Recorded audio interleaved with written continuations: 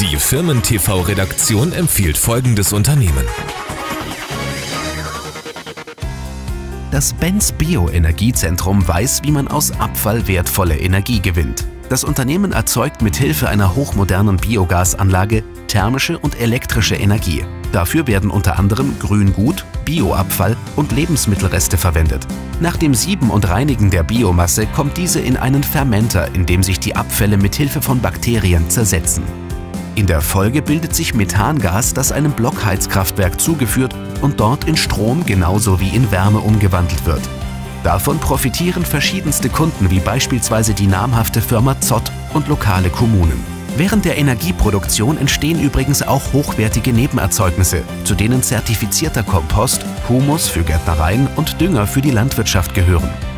Benz Bioenergiezentrum Regenerative Energie von einem Vorzeigebetrieb, der alle gesetzlichen und europäischen Richtlinien erfüllt.